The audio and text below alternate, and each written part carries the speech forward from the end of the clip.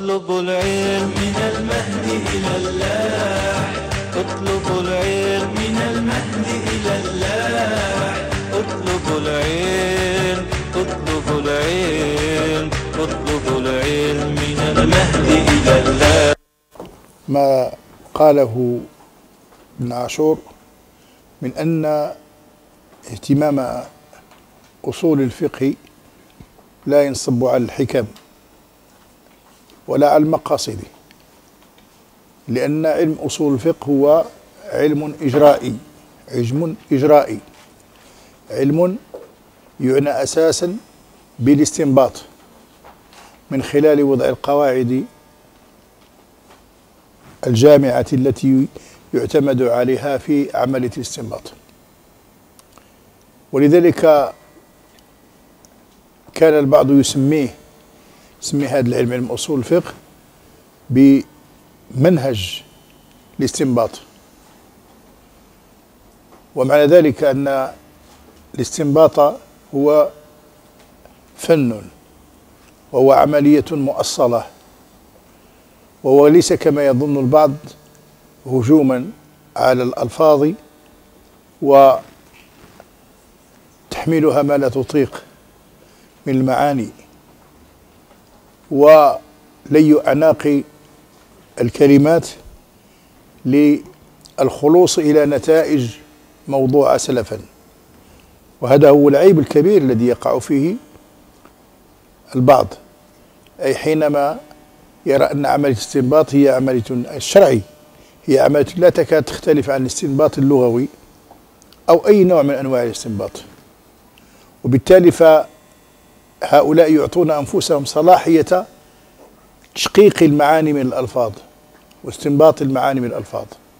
اعتماد منهم على جانب واحد والجانب اللغة ظنا منهم ظنا منهم أنهم يتقنون اللغة وأن ذلك كافٍ ولا يبالون بعد ذلك بأي طريق أو بأي وسيلة وبأي كيفية يستنبطون.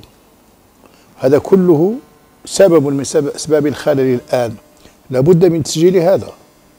أي أن الاستنباط ليس هجوما على النصوص ليس اعتمادا مطلقا فقط على اللغة وإنما هو تعامل مع النصوص من خلال استحضار القواعد. هذه القواعد هي التي تؤطر عملية الاستنباط. أي نحن لا بد أن يكون لنا معرفة بالقواعد التي نستعملها ونتوسل بها. ثم يكون الاستنباط وهذا في الحقيقة كل عمل علمي. كل عمل علمي شأنه أن يكون هكذا. ما الفرق بين أن يتولى الإنسان مثلا في في بادية؟ تربية المواشي أو تربية النحل وشيء من هذا. فقط لأنه يريد أن يربي النحل. وبين أن يربي النحل أو المواشي انطلاقا من معرفة بقواعد التربية وبأصولها. فرق كبير جدا. أنك تربي النحل لأنك وجدت الناس يفعلون ذلك فقد يكون المردود سيئا وقد تكون نتائج مخيبة. لكن أن تتعامل مع هذا بناء على ضوابط تلقيتها في المدرسة الفلاحية عن على أيدي الأساتذة على أيدي المهندسين فالفرق كبير. تماما بحال اللي نقول لكم الآن. هذا شخص يظن أنه قادر على أن يستنبط لأنه يعرف اللغة. مثل ما أن شخصا آخر يظن أنه قادر على أن يتعامل في الفلاحة أو في التربية أو في شيء انطلاقا من خبرته أو مما يبدو له. وكثير من من الأشخاص الذين لا يؤمنون بقيمة العلم يرددون هذا. أي حينما تتحدث مع إنسان خبير يطلعك على استنتاجات وما وصل إليه علم الفلاحة مثلا ويقول بأن لا لا بد من مراعاة الزمان لا بد من مراعاة التربة لا بد من اختبار هذا النوع من التربية اختبار نوع النبات الصالح لابد من الاهتمام بكيفية السقي وبالجو بتغطية أشياء ظروف كثيرة هي علم هي علم الفلاحة. لكن هذا الشخص الذي ليس كذلك يقول بأنه ليس في حاجة إلى شيء من ذلك. إحنا شكون اللي غادي يورينا أنا أنا فلاح وجدي كان فلاح وبابا كان فلاح أنت فلاح فاشل وجدك كان فاشلا وأبوك كان فلاحا فاشلا. انتهى الأمر. وإلا هذه هذه خطورة جدا هذه خطورة كبيرة جدا. في كل القطاعات نجدها في الطب نجدها. هناك من يقول هو طبيب. هو يستطيع أن يعالج الأمراض التي لا يعالجها الأطباء بل هو يفوق الأطباء. حينما يكون الأمر هكذا لا نتقدم في العلم ابدا. وهذا الذي نعيبه على الناس في كل القطاعات نعيبه أيضا على الذين يتطاولون على الاستنباط من غير أن يكونوا مؤهلين له. لا أقول فقط معرفيا لأن الإنسان قد يكون مؤهلا معرفيا من حيث التأهيل العام ولكنه في التأهيل الخاص أو في هذا الفن ليس له فيه بضاعة. ولذلك كان عندنا في تاريخنا كان عندنا مفسرون ولم يكونوا أصوليين.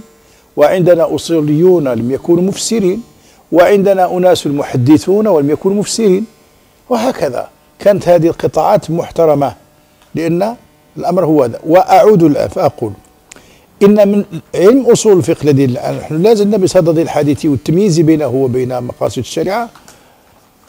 هذا العلم في مر في يوم من الأيام قدم قدم إلى الناس على أساس أنه علم المنهج أولا وأنه يعني الفلسفة الإسلامية. ولذلك حينما كان الناس يتساءلون عن الفلسفة الإسلامية. كتب أحد الأزاريين كتابا هو كتاب تمهيد ها لتاريخ الفلسفة الإسلامية. شكون هو؟ مصطفى عبد الرزاق خو علي عبد الرزاق. هذا الكتاب يجب أن يكون بأيدي الناس جميعهم هذا قال فيه هذا الشخص إن طريقة الشافعي وركز على رسالة وعلى الشافعي إن رسالة الشافعي هي عنوان إسهام المسلمين في المباحث الفكرية. طبعا الذين لا يريدون هذا لا يعرجون على هذا الكلام ولا يرون أن ذلك صحيح. لأنهم يرون أن الفلسفة هي ما يقولونه هم. إذا كانت الفلسفة هي فكر وتحريك للدين فهذا فلسفة لا هؤلاء لا يرون هذا فلسفة لأنه لأن مداره على الأصول الشرعية على النصوص الشرعية ولذلك فهم يقصون؟ وهذه معركة. معركة إثبات أن علم أصول الفقه هو مظهر مظهر الفلسفة الإسلامية. ولماذا كانت كذلك؟ أول لأنه فكر إعمال للفكر ثم لشيء آخر يتميز به علم أصول الفقه وهو أنه لم يلتبس ببحث آخر. أي ليس عند الأمم الأخرى علم يشبه هذا حتى نقول إن الأمة الإسلامية تأثرت به. فعلم المنطق معروف أن له أثرا وارتباط بالمباحث المنطقية الفلسفية اليونانية. علم النحو فيه كذلك. علم النحو فيه بعض المباحث هي مستقاة من جهات من مباحث أخرى خصوصا العلة. والعلل النحوية ليس كعلل الأصوليين. العلل النحوية التي نتحدث عنها وهي العلل الأوائل والثواني والثوالث. فالعلة الأولى سهلة. ها؟ العلة الأولى سهلة. لماذا كان هذا الاسم مرفوعا؟ لأنه فاعل. وإذا لم نقنع بهذا سألنا ولماذا كان الفاعل مرفوعا قلنا لأن الرفع خفيف وهذا يصلح في الإسناد. فإن قالوا سألوا سؤالا ثالثا دخلنا إلى العلل الثوالث. فعلة وعقبها علة عقب لذلك علة أوائل والثواني والثوالث. وابن مضاء حينما كان يعيب على النحاة كان يعيب عليهم العلل الثواني والثوالث. بعض الطلبة يقول إن ابن مضى ناهض العلة وهو لم يناهض لأنه لا يمكنك أن تعلم الناس إلا بذكر العلة. العلة الأولى. لماذا هذا الاسم؟ أن حضر زيد نقول حضر فعل ماض زيد فاعل زيد مرفوع لأنه فاعل. أو آه، آه، في اسم آخر منصوب لأنه مفعول هذا لبيان الباب. لأن النحو شأنه أن أن يبين الباب النحوي. الصرف يبين الصرف في الكلمة ولكن النحو يرجع الكلمة إلى بابها. فإن كان مجرورا فهو في داخل في باب الإضافة إضافة بتوابعها كما يقول بعض وإن كان منصوبا فه- فهو على أساس أنه يدل على أنه فضلة وذلك فضلة منتصب وأنه قد ليس لا يكون ركنا في الإسناد. ولكن حينما تقول هذا مرفوع لأنه فاعل وهو ركن في الإسناد الفاعل ركن الإسناد مثلما أن المبتدأ والخبر كلاهما ركن في الإسناد ولذلك المبتدأ مرفوع والخبر مرفوع. هذه علل تكفي. إذا أعود فأقول بأن بأن هذا العلم علم إجرائي علم يضبط عملية الاستنباط وهذا شيء مهم جدا. فلذلك من كان يظن أنه بإمكانه أن يشتغل على النصوص الشرعية من غير من غير من غير تأهل بهذا الجانب الجانب ال- ال- الإجراء التقني بالقواعد فإنه في الحقيقة آه، يكون خارجا عن العملية عموما ولا يستحق عمله أن يسمى لا اجتهادا لأنكم أنتم الآن لا تجدون كلاما يتحدث فيها وشعار يرفع. الآن أكثر من شعار الاجتهاد لا بد أن نجتهد. تجتهد بعد بعد العمل. بعد التأهل. أما أنك لا تتأهل فليس ذلك باجتهاد لأن أي قاعدة من القواعد أي قاعدة من القواعد تعوزك. مثلا إذا قلت إن الحكم إذا علق بمشتق كان ذلك الاشتقاق هو علة الحكم. هذه قاعدة ليس للحفظ للتطبيق. إذا علق الحكم ها بمشتق لا تسأل بعد ذلك لماذا؟ لأن الاشتقاق يوذن بالعلة. إذا قلت لك أكرم المجتهد فإن قلت لي لماذا أكرمه؟ معنى أنك لم تفهم شيئا. أكرم المجتهد فلما قلت لو قلت لك أكرم الرجل لصح لك أن تقول لماذا؟ لأنه جامد. ولكن لما قلت لك أكرم المجتهد فهذا اسم الفاعل من اجتهد يجتهد فهو مجتهد. فما أنت لا تكرمه إلا لأنه مجتهد.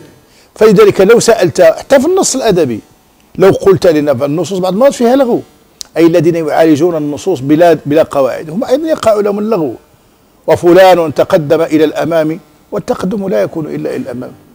وتأخر إلى الوراء فهو كلام فهو كلام زائد. فالتأخر إذ لا يكون لأن هؤلاء يتحدثون بلا, بلا, بلا ضابط لا في اللغة ولا ولا في, ولا, ولا في, في ضوابط الاستنباط. مثلا آه أن قواعد نف- نفيسة جدا. أنا أظن لو أن الناس لو أن لو أن النقاد ودارسي اللغة أفادوا من من من قواعد ها من قواعد الأصوليين. طبعا نقول لك نحن الآن نقيد اللغة. نحن لا نقيدها نحن نضبطها بالضبط. ولذلك آه، ربما إن شاء الله إذا كان يسر الله تعالى الأسبوع الجاي نعطيكم واحد البحث قديم حول إسهام الأصوليين في دراسة ها؟ ها؟ دلالة. قديم قديم قديم آه لفظ مهم جدا مهم جدا وما يقال الآن في اللغوية في لسانيات بعضه هو ما يذكره أصوليون. وأنا بل أزعم أن كتابة أصوليين في الدلالة في مفهوم الدلالة هي كتابة أدق مما كتبه غيره. البلاغيون يتحدثون والبيانيون يتحدثوا في الدلالة ولكن كلام الأصوليين في الدلالة كلام آه، راسخ ودقيق. لماذا؟ لأنهم يرتبون على ذلك الأحكام الشرعية. اذا فهذا اذا أعود فأقول لأن بان ما قاله ال- صاحب هذا الكتاب بأن علم أصول الفقه لا يعنى بالإحكام لأن ال- هذه الأحكام لا يتعلق بها لا تعلل بها ل- لانها الأحكام لا تعلل بها هذه الأحكام وأنه لا يعنى بالمقاصد إلا إلا ما نظر إلا في أبواب. وذكر من الأبواب التي اهتم فيها بال- بالمقاصد وبالعلل آه، مبحث مسالك العلة وهو بحث أساس عنوانه العلة. وبينت أن مسالك العلة هي نوع من الاختبار للعلل. اختبار كأنك الآن في مختبر. فأنت من جهة تجد الحكم منصوصا عليه. الخمر حرام. الخمر حرام. لكنك لا تكتفي بهذا وإنما تحاول أن تعرف العلة في ذلك. ها؟ فتأتي بكل الاحتمالات. بحال الرياضيات تأتي بالاحتمالات. الاحتمال الأول الثاني الثالث الرابع الخامس. فتقول مثلا إن الشرع حرم الخمر لأنها سائل أو لأن لونها أحمر أو لأنها غالية في الثمن أو ل... قل ما شئت. إذ كل ما يمكنك أن تحضره من الأسباب المفترضة جيب به لكنك حينما تريد هذا هذا تقسيم هذا تقسيم أي حشر وحشد للعلل الممكنة لكنك حين حينما تنتقل إلى عملية أخرى تفتش هذه. فتقول إن الذي يناسب توجيه الشارع أن نقول إن الإسلام حرم الخمر لأنها تفقد العقل. وهذا مناسب لأننا نعرف من من من حكم الشريعة ومن كليات الشريعة أنه يحافظ على العقل. فيناسب. أي باقي الاقتراح أو الاحتمالات لا تصلح. إذن فيه إلغاء. هذا سبر وإلغاء. ألغينا كل كل الاحتمالات التي لا تصلح وأبقينا على واحد وقلنا هو علة الخبر علة حرمة الخبر هكذا. وهذا اتضح ويمكنكم وستجدون هذا أيضا مذكور اذا رجعتم إليه في, في, في, في القرآن الكريم آه، فيه هذا يمكن المرة الجاية إن شاء الله نجيب لكم شواهد من القرآن في لأن هذا هو منهج الإسلام في في في, في عرض المواقف ديالو ماشي الكلام العام اللي الاسلام قال والقران هذه مباحث علمية وقف عندها الأصوليون ووقف عندها البلاغيون ووقف عندها الذين درسوا النص القرآني دراسة علمية. ماشي الدراسه ديال ديال أنا نشير لكم الدراسات ديال ديال عضيمه آه. عضيمه الشيخ عبد الخالق عضيمه له كتاب يعتبر آه دراسات لأسلوب القرآن الكريم. وأنا أقول باللي لا ما كتبه الشيخ عضيمه في هذا وهو من المحدثين توفي رحمه الله في حادثة سيل ربما لم يكتب مثله. لم يكتب مثله. لأنه كتب شيء كثيرا في الحروف الأدوات وفي في الصياغ في الأفعال بحيث اشتغل وهو كتاب اشتغل عليه نحو من تقريبا أي تقريب ما اشتغل معه في الموازنة كان يشتغل أيضا على المبرد. لأنه حقق كتاب المقتضب للمبرد وحقق مع المبرد كتابا آخر في هامشه ومسائل فارقة. اذا جزاهم الله خير هؤلاء الذين قدموا له اذا هذه الدراسات التي أتحدث عنها الدراسات العلمية التي آه، يجري الحديث عنها أقول إن من من الأبواب أو من القضايا التي كان الأصوليون مضطرين إلى أن يبحثوا فيها عن عن عن العلة وما يشبه العلة مبحث آخر هو مبحث المصلحة. المصالح. وهذا مبحث مهم جدا. هو الآن نحن نتحدث عن روح التشريع الإسلامي روح التشريع الإسلامي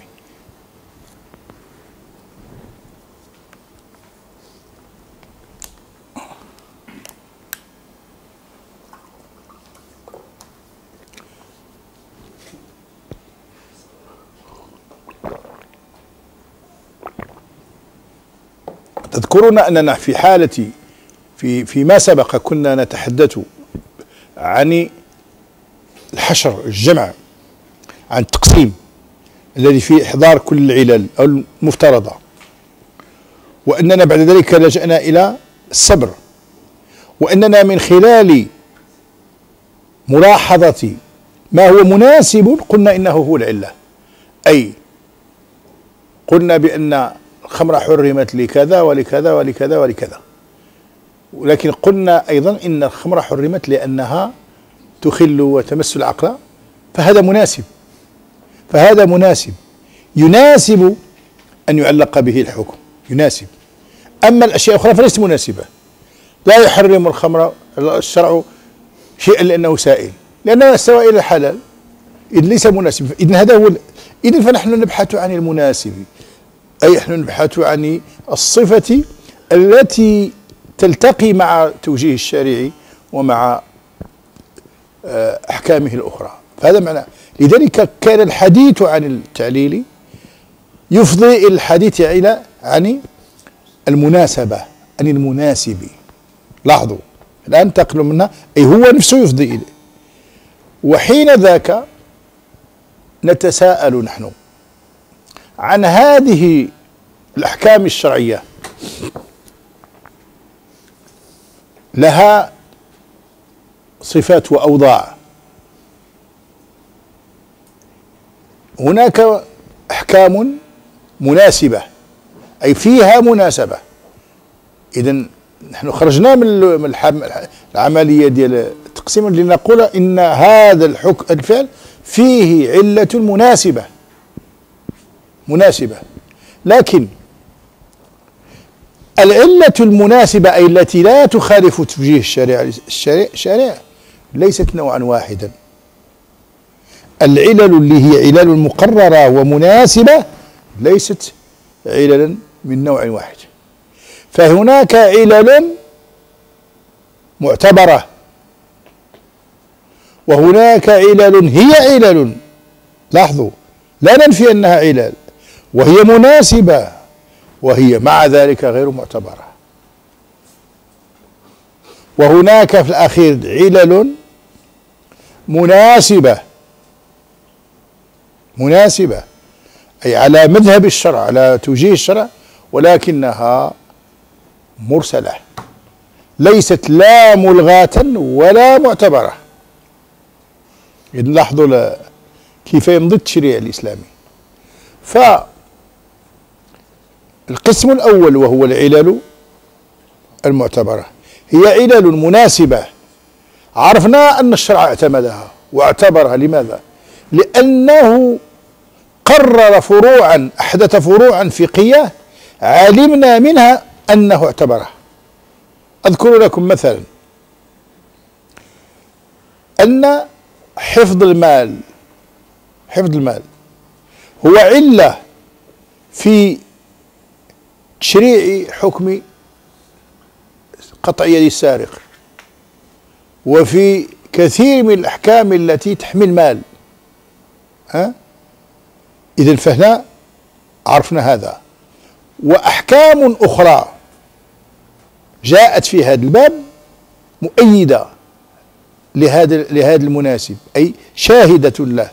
فالذي يشهد لأن لكون الإسلام يحافظ على المال. أن الإسلام مثلا يقول الله تعالى فيه ولا توتوا السفهاء أموالكم التي حرم التي جعل الله لكم قياما. لا توتوا السفهاء أموال إذا فأنت ممنوع عليك أن توتي المال من كان سفيها لأنه قوام الحياة بالنسبة للأمة. هذا شاهد. حرم الإسلام التبذير ولا تبذر تبذيرا.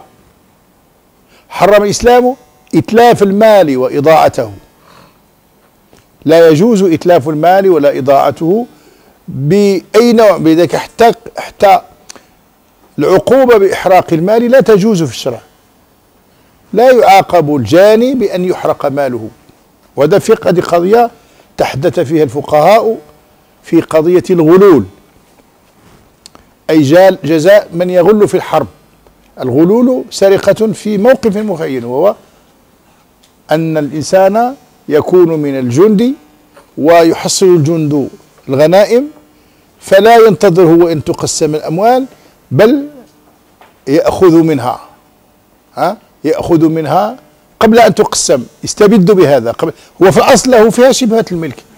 في الأصل له شبهة الملك لأنه هو واحد من الجند ولكنه الآن ليس مالكا لها فلذلك أخذه لها واستبداده بها هو غلول. وهذا فعل محرم. والنبي صلى الله عليه وسلم لما قال عن رجل غل كان أحدهم قد غل وهو عبد يسمى مدعم كان قد شارك مع المسلمين في بعض الغزوات فأصابه سهم. قبل قبل تبدأ المعركة أصابه سهم عاثر فقتله. فقال الناس بعد ذلك هنيئا له الجنة. هنيئا له الجنة. فقال النبي صلى الله عليه وسلم إن الشملة التي أخذها من المغانم لم تصبها تصبها المقاسم لتشتعل عليه نارا. إن الشملة التي أخذها من المغانم لم تصبها المقاسم لتشتعل عليه نارا. وكان هذا دليل على أن هذا النوع من ال من ال من ال من الامتداد من من الاخذ اخذ المال على أنه حرام. اذا حكم الغلول يؤيد ما ذكرته من أن الإسلام يحافظ على المال, المال. أي من الكليات التي يحافظ على الإسلام المحافظه المحافظة على المال. بالمناسبة ابن عبد البر في كتابه التمهيد ها؟ قد تحدث في هذا الحديث وأطال. أرجو أن تعودوا إلى هذا. وقد أسس عليه بابا كبيرا ابن عبد البر في كتاب التمهيد ما في الموطأ من معاني الأسانيد. وقد تحدث عن هذا حديث مدعم. وقال وتوسع فيه وذكر فيه أحكام الرشوة. أحكام الرشوة كلها مذكورة في كتاب التمهيد في في وتوسع في ذلك. على عادة الفقهاء حينما يتعاملون مع النصوص لا من باب اللغة وإنما من باب قواعد الاستنباط. إذا هذه الشواهد التي ذكرت لكم تؤيد ما ذكرته من أن الحفاظ على المال هو سبب وهو علة تحريم السرقة. إذا لماذا حرمت السرقة؟ لأن الإسلام يريد الحفاظ على المال. ما الذي يشهد لهذا هذا هذه العلة المناسبة تشهد لها نصوص أخرى؟ اذا هكذا. وأنت ترى أن الأحكام الشرعية أحكام الشرعية تشهد كلها لهذا. فحكم مثلا آه، معاقبة المفتري والقاذف الذي يقذف الناس في أراضيهم. أي الذي يقذف الناس ويتهمه لأن لأن لأن القذف لا يكون إلا بتهمة الزنا. مش يقولوا راه لص ولا شي هذا. إذا الحكم بالقذف القذف حكم. عرفنا منه ومن شواهد أخرى مماثلة أن حماية الأراضي شيء أو مقصد من مقاصد الشريعة الإسلامية. إذ لاحظوا إن هذه هذه علل ومناسبة أي مجارية لنمط لتوجه الشرع والذي دل على أنها معتبرة هي هو أن الشرع نسج على نحو ذلك وأسس الفقه على هذا. هناك في المقابل علل مناسبة مناسبة لكنها غير معتبرة. وردتوا باش اش غادي تعرفوا باش تعرفوا واش تجاوبوا في هذا الموضوع. أنا غنطرح عليكم السؤال. هو نعسوه. اشربوا الماء.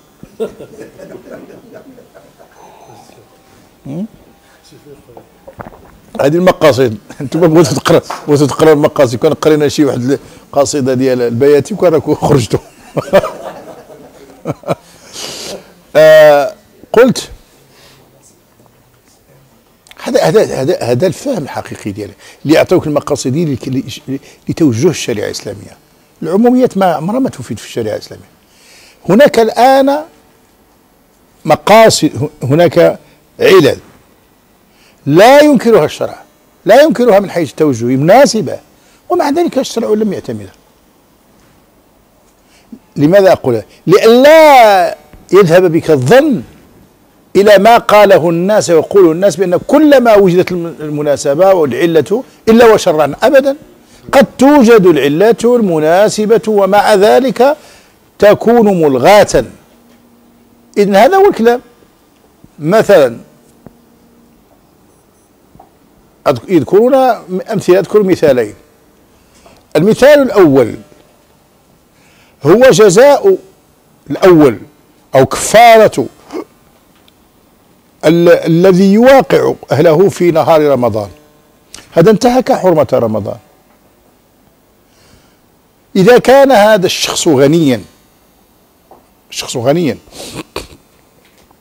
وأراد أن يكفر. فهناك خصال أن يصوم شهرين متتابعين أو أن يعتق رقبة أو شيء من هذا القبيل. لكن الذي نص عليه صاحب الشرع هو قال اعتق رقبة اعتق رقبة نحن ماذا يبدو لنا؟ لو, لو ترك الأمر لنا. لقلنا إن هذا الشخص بما أنه غني فالأولى أن يصوم حتى لا يستهين ب لكن هذا ليس هو ليس هو منهج الشرع لا أن يعتق لا أن يصوم. لاحظتوا؟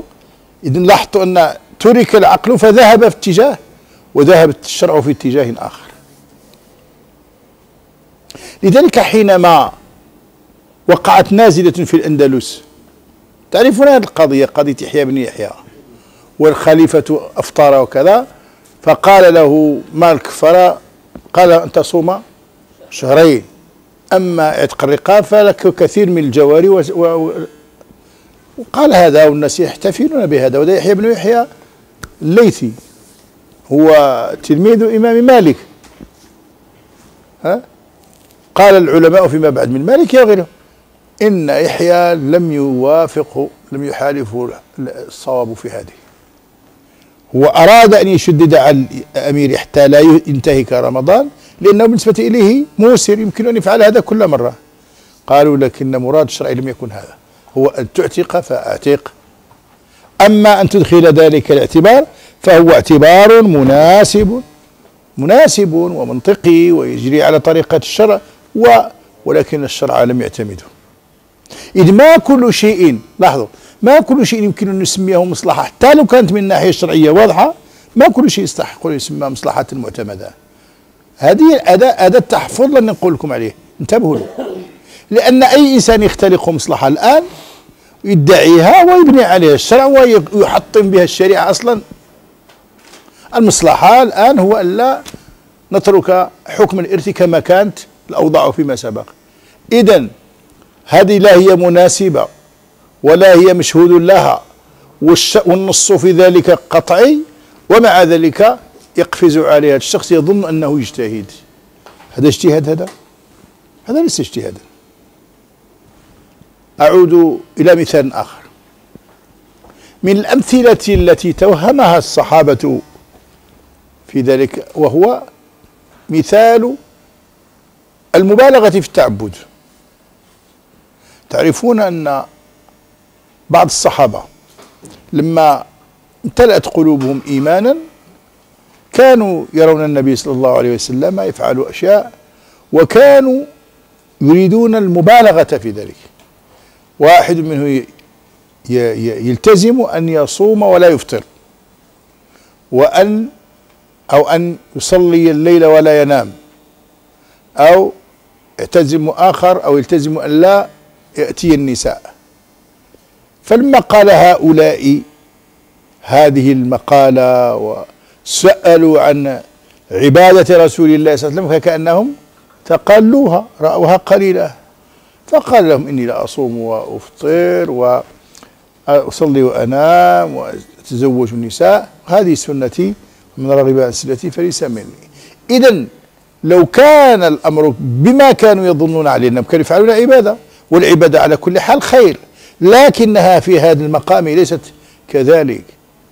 ليست مشهودا لها مع أنها هي في ظاهرها عبادة والشرع يقبل هذه العبادة وتأتي على ليس فيها معصية تأتي على منهاج الشرع في الدفع, في الدفع بالناس إلى العبادة لكنه في هذا المقام لم يقبلها. فهذه عبادة كانت ملغاة. لماذا؟ لأن للشرع شيء آخر. هذا الأمر يبدأه الناس ولكنهم يعجزون عن مواصلته.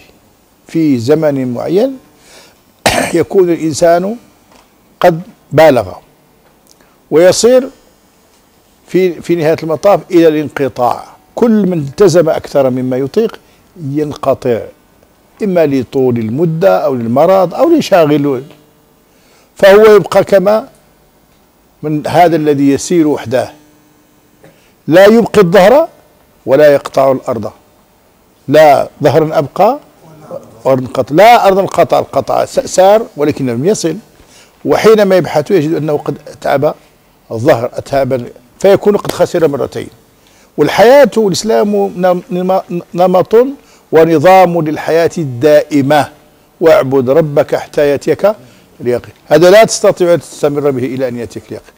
هذا قد تجد بنفسك في مرحلة من مراحل الحماس وبعد ذلك لا تستطيع. ولذلك كان بعض الفقهاء لا يحبذ أن يلتزم الإنسان شيء من العبادة نذر الفقهاء يقول كانوا لا يؤيدون هذه النذور لأن الإنسان قد يجد نفسه عاجزا عنها تماما.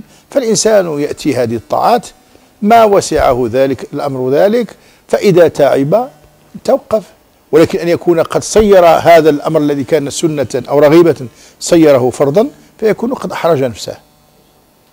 إذا هذا الأمر لم يسايره الإسلام لم يقبل به الإسلام لأنه كان يخرج به عن طبيعته.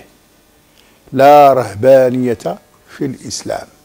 القضية ليست قضية شخص قضية أمة. لذلك حينما تتجاوز الأمور حدود العادة والحدود المنط... يكون للشرع موقف آخر. من هنا حينما يتحدثون وبعض الناس يتحدث عن أو يريد أن يدخل نفسه ويقحم نفسه بين الصحابة ويقولون إن أبا ذر الغفاري كان رجلا لا يترك شيئا ما جمعه آه، أنفقه وكذا لا يبقي شيئا لأهله وكذا وكذا. وسموه كما آه، عرفتم أنه اشتراكي الأول واشتراكي. ما كان يتشي حدا. وعثمان بن عفان آه، نفاه إلى الربذة. مات وحده نفاه لماذا؟ لأن ما يحمل عليه ما يحمل الإنسان عليه نفسه يصلح له. ولكن أن يكون هذا تشريع للأمة هذا إحراج له. والفرق كبير. إذا أردت أنت أن تختص بشيء ولكن ما تمشيش تخرج في الناس لا تجادل عنه لا تحاول أن تقنع الناس به. أنت كان من مصلحتك أنت كان من من فائدتك أو من عادتك أن تقوم من الصباح وتغتسل بالماء البارد وتخرج إلى الخارج إلى وتجري تجري مثلا 10 كيلومتر. هذا خدمتك.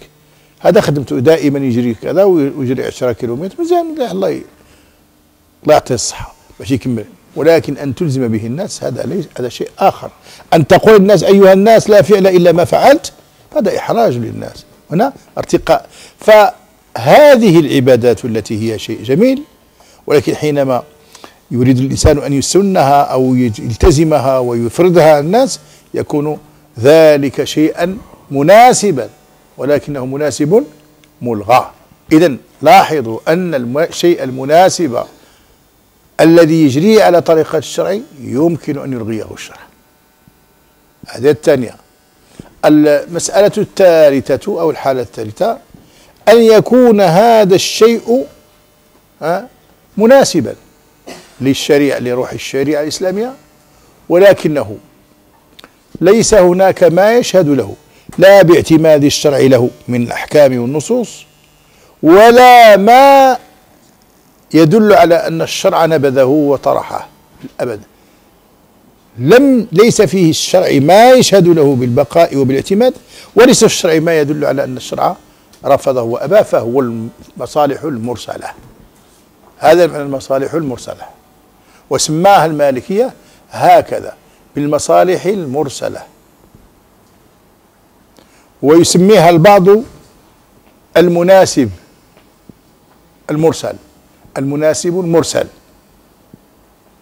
ويسميها البعض بالاستدلال بالمناسب.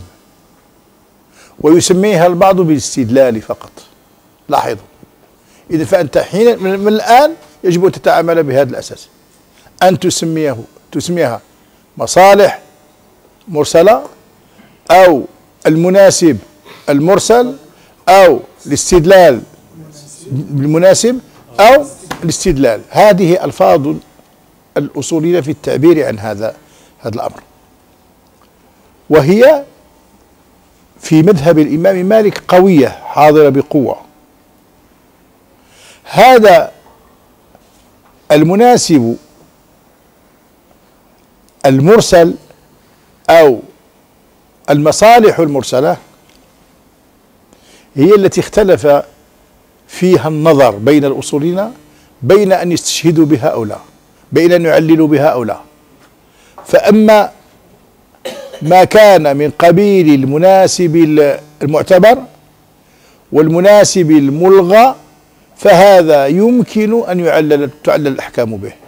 الآن الخلاف فاش في هذا الصنف الثالث في النوع الثالث وهو المناسب المرسل أو المصالح المرسلة. فقد رآها مالك ولم يقل بها بعض الأصوليين أو توقف. فيها. وهذه المصالح المرسلة هذه المصالح المرسلة مفيدة جدا لأن الحياة لا تستوعب كل لأن النصوص الشرعية لا تستوعب كل كل كل الأحداث. الحوادث والنصوص ليس على درجة واحدة. النصوص متناهية كما قالوا. النصوص متناهية النصوص القرآنية هي هذه. لا يمكن أن يزاد فيها شيء. نصوص الحديث هي هذه. لا نخترعها. ولكن الحوادث غير متناهية لذلك يجد للناس دائما حوادث فبما أننا نقول بالمصالح المرسلة فإننا نستطيع بهذا الأصل أن نتعامل مع جميع المستجدات. وهذا هذه ميزة من ميزات الفقه المالكي أنه يسير مع هذه فإن لم يجد لها نصوصا تشهد لها فإنه يعود إلى فكرة المصالح المرسلة. وأنا أقول جميع الذين لم يكونوا يقولون بالمصالح المرسلة اضطروا إلى ذلك. اضطروا إلى ذلك. بينت لكم أننا في قضية الطواف في في في, في حول البيت وقعت تغييرات. في المسعى بين الصفا والمروة وسع وكان هناك من لا يقول بهذا. هناك رمي الجمرات كان يقع في مكان ضيق وكان الناس يموتون. ف وكانت هناك طبقات للرمي. كان هناك منذ أول من, من رفض كل هذا. هذا ما ثبت في السنة فلا نفعله.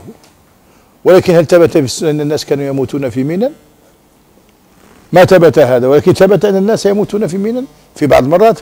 تعرفون الاحداث التي وقعت حادثة المعيصم وفيها الالاف ديال الناس كانوا يموتون. السنوات الماضية مات فيها أناس آخرون بأسلوب آخر. فلا يمكن أن نستمر دائما في أن نقول للناس دعوا الأشياء كما هي ثم نرسل مجموعة من البشر ليموتوا في أقدس مكان. المفروض أن نحافظ على سلامة هؤلاء ليذهبوا آمنين ويعودوا كذلك آمنين. اذا فالمصالح هذه وسعت على الناس. الآن كلمة لا بد منها أو شيء لا بد منها أذكره. وبالمناسبة هذه المصالح راه درس في المقاصد فيما بعد. سا أنا الآن نحن نقرأه مرتين. أو على الأقل أنتم تأخذون مبادئها. المصالح هكا المصالح مرسلة. قال الناس يعرفوا المصالح ولكن أي مصالح؟ الله أعلم. ولكن الآن نحن نتكلم نتكلموا ب, ب فأقول ما معنى البحث عن المصلحة؟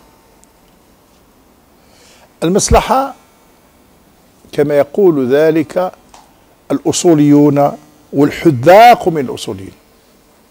يقولون إن المصلحة أو البحث عن المصلحة هو المص هو البحث عن مراد الله من المصالح. وهذا شيء مهم جدا.